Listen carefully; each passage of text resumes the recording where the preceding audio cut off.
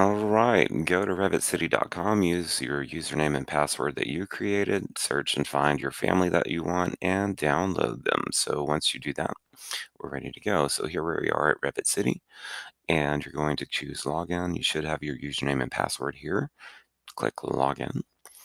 And now we're going to use the search tool right here, and I'm going to search for work table.